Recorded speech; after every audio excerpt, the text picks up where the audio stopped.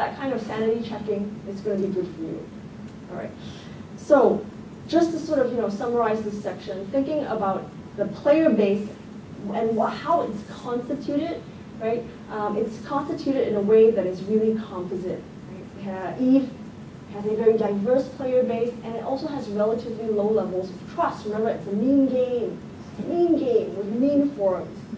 And uh, players, what they seem to do, and what council members seem to be doing, is that they seem to be seeking a kind of algorithmic self-understanding to contextualize you know, what they understand as chaotic public discourse, right, as flawed democratic representation. I haven't brought up evidence for this in the talk today, but it will be in my in, in the paper that I'm going to write about how they see this process as flawed.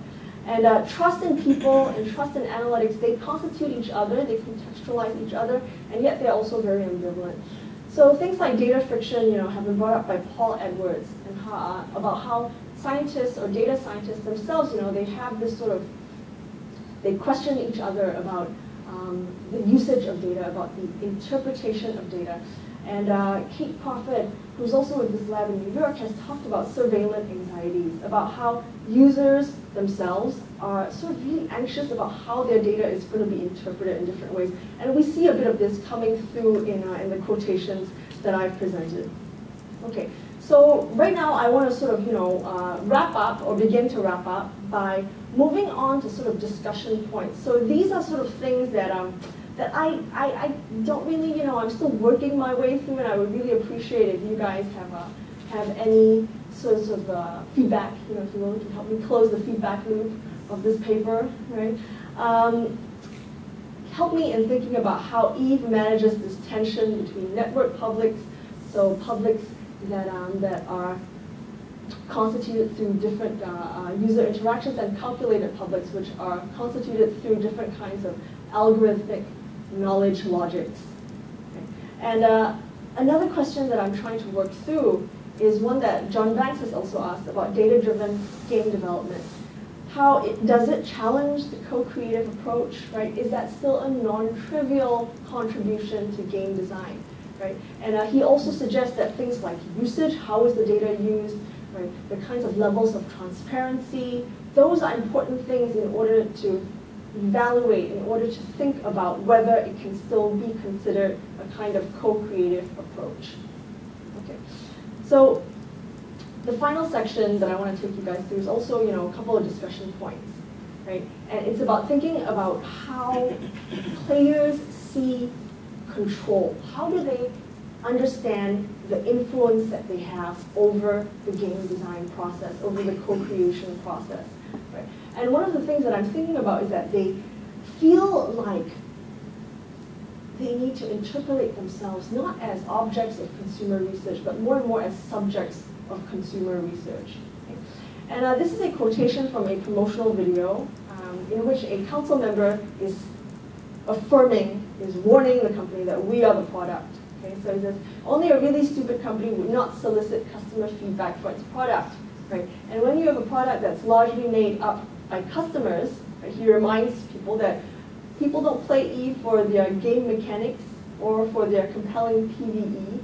Um, when in fact, I might preface that most Eve players are player versus environment kinds of players. Okay? They play it substantially because of the other players. We're not just the customer, but we're also the product. So yes, it's definitely vital. All right. So if players imagine control by processing their different kinds of uh, phenomenological feedback, their different kinds of traces, uh, into forms that are legible and accountable for co-creation, um, what can we then think about these kinds of evidentiary claims, right? And how democratic evidence or democratic representativeness, managerial representativeness, scientific representativeness, how do they both compete and collude? All right.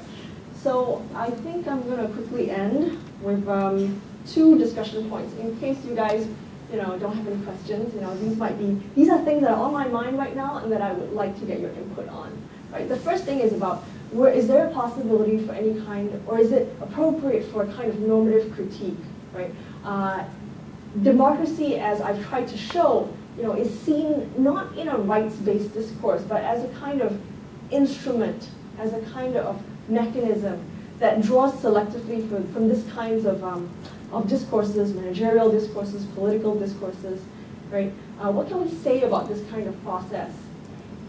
And another question that I want to bring to the table is about that shift, right? When players shift both their identification and when developers shift their modes of address, right, from to customers as, um, as objects of consumer research versus as subjects of consumer research. What kinds of opportunities as well as burdens for co-creation, you know, seem to be bubbling to the surface. All right, so that's it for me. exactly 45 minutes. we have about 15 minutes left for discussion, questions, and I'll, well, you know what, you go ahead and field the questions as they come up. Yes, Tarleton. Uh, th- Thanks, this is, again, you're getting to dig into such a rich spot. I was really surprised to hear that there was an upheaval in the middle of this period. And You mentioned it kind of as an aside, but it didn't seem like it was a big part of your question, the player upheaval about the microtransactions. Right, it was, um, it was during the periods, uh, after 2010 to 2011. Is that a, it's, so it was after the period you were living? Uh, no, I'm looking at a, at a full, I'm looking at seven years and it's somewhere, you know, at the beginning.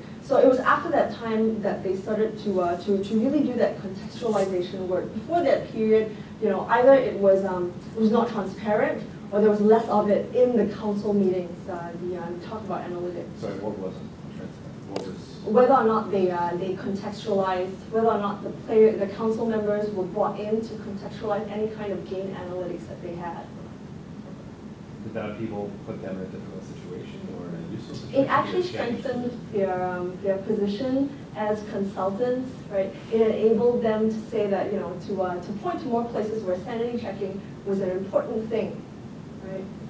And uh, that's, a, that's a really good point. I think I'll, I'll weave that into the story about how, you know, that, that was a, that was part of something that happened that made them more important in a way. Do you think they like helped make themselves important, or they just happened to be useful?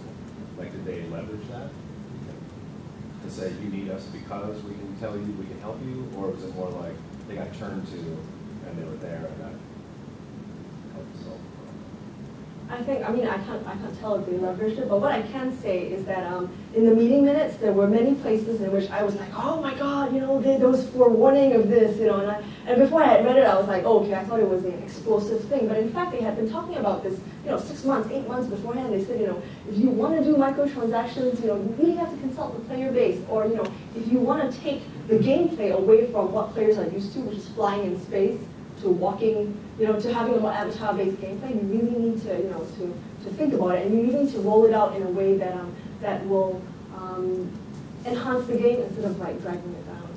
And then after that, right, what I can say is that um, there was a uh, um, a promotional video that was made in which the players and developers sat down and had a Q&A, you know, back and forth uh, kind of, you know, they, they had, that was the first time they started to talk about terms like accountability, right? Uh, if the play, if the player council is here, right, at this emergency summit, right, if we are here to write out different kinds of, um, of statements, joint statements to the player base, then now you have something to hold us accountable to as we move forward together. So that, you know, well, now that you mention it, that was, you know, that seemed like a reflection point in some ways. But I'll never know, you know, I'll never know. Thanks. Super interesting work.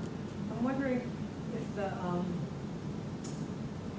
how the tension between, or if it arises, the tension between serving the community of players that already exists and bringing in new players and expanding the player base. Does that come up at all?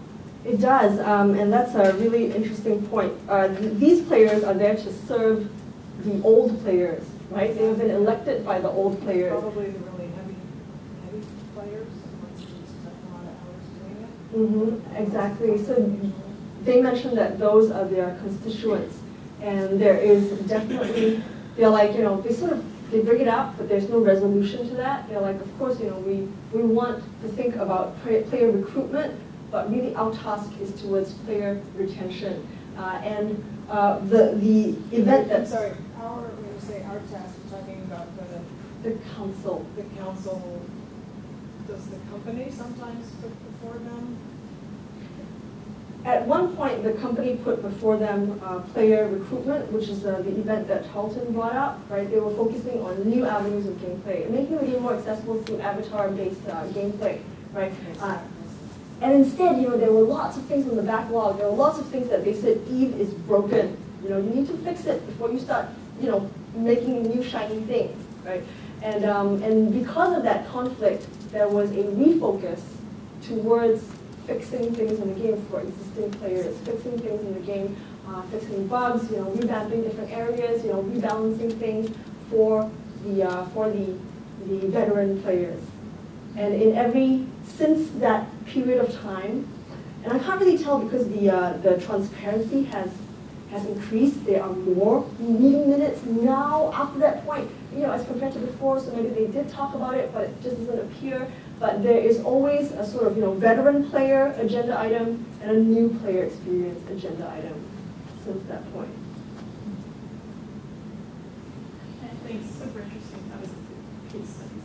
Um, uh, you may not actually have done this analytic work, so if you haven't, I'm just curious, do you have a sense of the historical trajectory around how the folks are arguing and, and setting up their rhetorics of argument? Because I mean,